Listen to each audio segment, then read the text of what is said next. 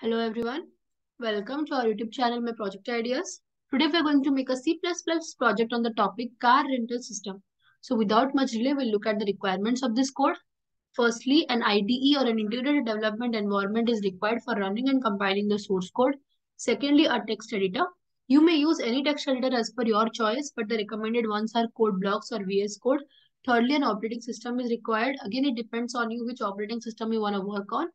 The recommended ones being Windows 10 or any other latest version. Now we'll be moving at the actual code part. Here we have the standard lines that is include iostream, conio.h and stdlib.h. Then we have the basic line using namespace std. Then we have a structure named cars where we have the company, model, color and max speed of the certain cars.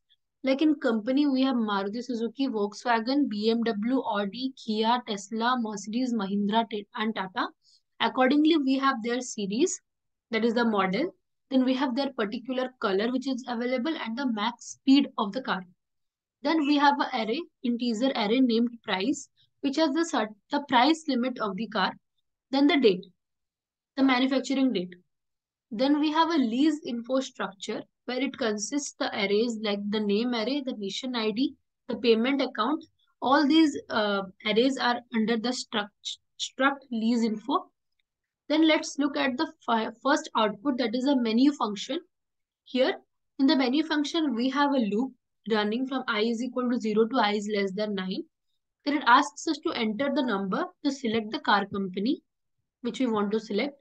Then in the second output, we have the details function where we take a parameter of int choice.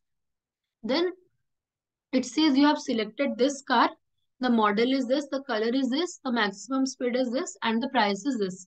So accordingly, according to the array, all those stuff will be displayed. Then uh, there is a function for the check lease credit Again, we have an input here int k, which is a parameter which has been in initialized through other function. Then it says the process has been done successfully if the if the, that is available or else it displays no, sorry, the option is not available.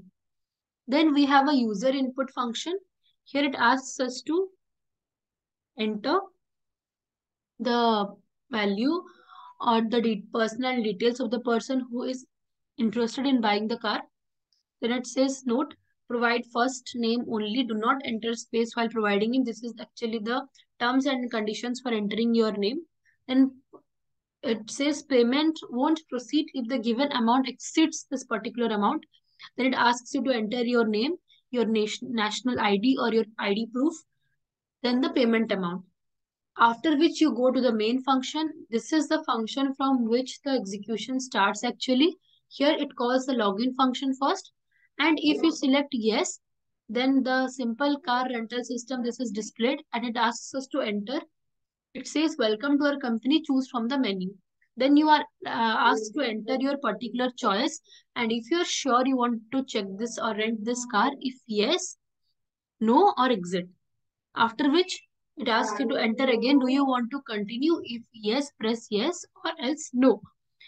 So after which uh, the decision value, the decision uh, variable actually it stores the particular value that is either yes or no. Then we have this login function. Here it says us uh, Sunshine Car Rental System login and it asks us to enter the password. So after entering the password, the password is pass that is PSS. It says access granted. Welcome to our system. Or else it displays the access has been denied or blocked. You have to try again. So this was our login function and uh, the end of the code as well. I hope you understood the working of this. The explanation is quite clear to you. Now we'll be moving at the actual code part and I'll run this code and I'll show you. This is actually the whole code. Now let me run this.